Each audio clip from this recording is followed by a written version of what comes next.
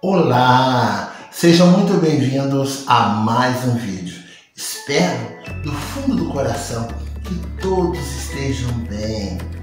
Antes que eu me esqueça, peço a todos que se inscrevam, ativem o sininho, dê um like, comente, compartilhe e para de loucura e roda a vinheta.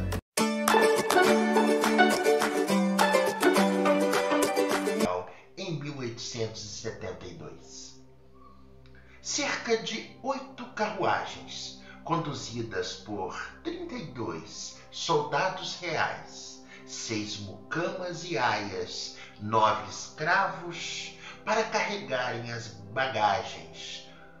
Um botânico francês, Auguste Glasieux, botânico e paisagista de 39 anos e o fotógrafo Alberto Henschel surgiam onde aproximadamente hoje é a indústria Ibrame em Itatiaia, na margem direita da Dutra. Curiosamente, uma mesma estrada foi criada naquele caminho que antes em verdes pastos de criação servia de passagem, como em outros lugares e ligava certamente a outras trilhas que numa subida íngreme, repleta de pedras e de uma mata densa, com árvores e tocos caídos pelo caminho.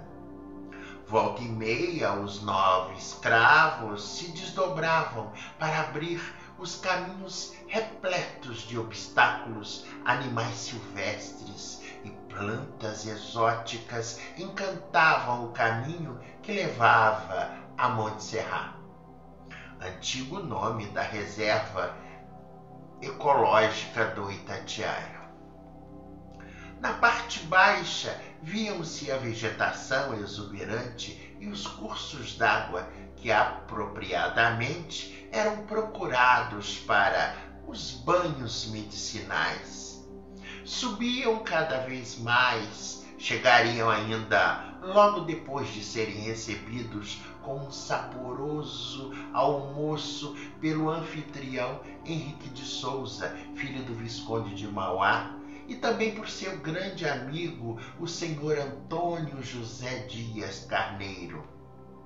Naquele ano de 1872, Antônio José Dias Carneiro ainda não era nem barão nem visconde. Compreendendo melhor essa história, por decreto de 7 de agosto de 1877, Dom Pedro II galardoa Antônio José Dias Carneiro com a comenda da Ordem da Rosa pelos relevantes serviços prestados à pátria e, por decreto de 14 de maio de 1883, é agraciado com o título de Barão do Salto e, em face da remuneração e liberdade concedidas a escravos e serviços prestados ao Estado.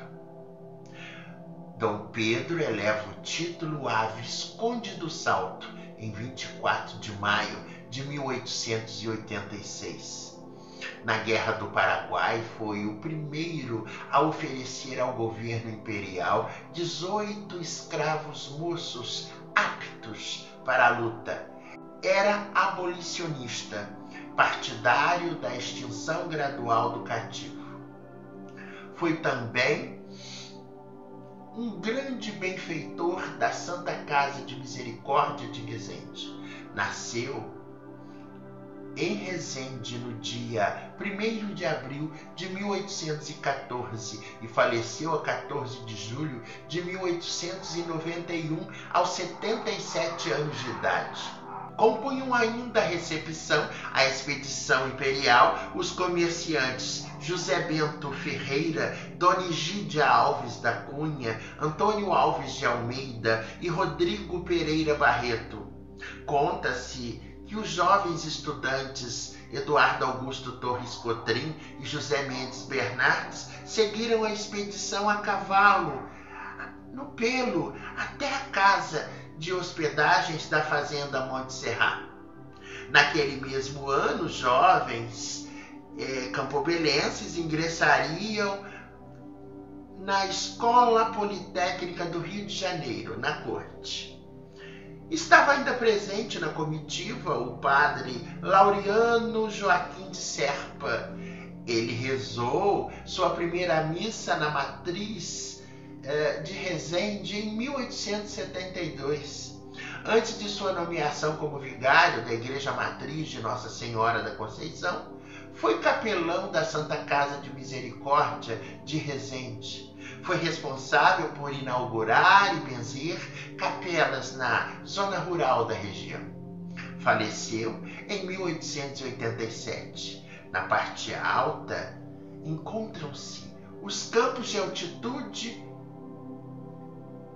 também os vales suspensos, onde brotam originalmente vários rios conhecidos. A princesa Isabel estava com 22 anos de idade.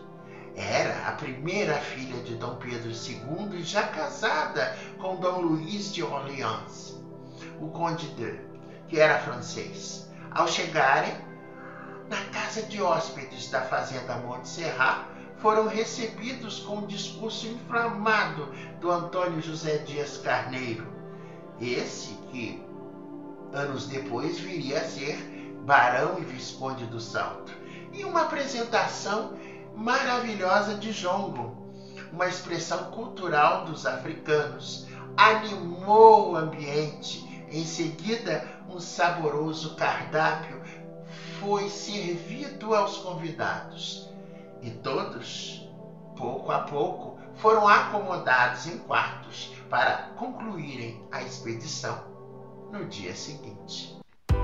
Fico por aqui um beijo mega gostoso no coração de cada um de vocês.